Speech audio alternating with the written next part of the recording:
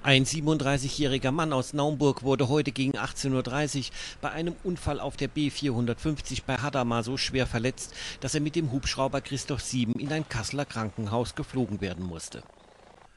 Der Mann war mit seinem Mercedes aus Berkel in Richtung Hadamar unterwegs. Als er an einem Stoppschild die B450 überqueren wollte, missachtete er vermutlich die Vorfahrt eines 24 Jahre alten Mannes, der mit seinem Auto in Richtung Fritzlar unterwegs war.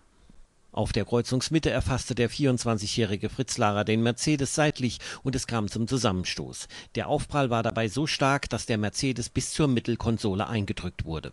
Über eine Stunde benötigte die Feuerwehr, den am Brustkorb verletzten Naumburger aus dem Fahrzeug zu bergen. Das DRK-Rettungsteam versorgte den Verletzten mit zwei Notärzten. Die Staatsanwaltschaft ordnete bei den unfallbeteiligten Fahrern eine Blutentnahme an.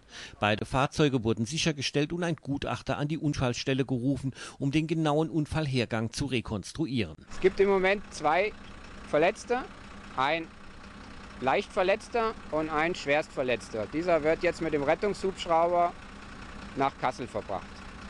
Die Einsatzkräfte mussten den äh, Mercedes-Fahrer aus dem Auto herausschneiden. Dieses hat über eine Stunde gedauert. Schadenshöhe schätze ich auf 20.000 Euro. Es ist ein Gutachter bestellt, um die Unfallursache aufzuklären. Äh, die Fahrzeuge werden sichergestellt und bleiben erstmal in Obhut der Polizei.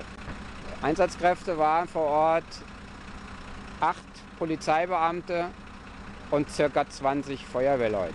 Die B450 und alle Zu- und Abfahrten waren für die Dauer von circa drei Stunden voll gesperrt.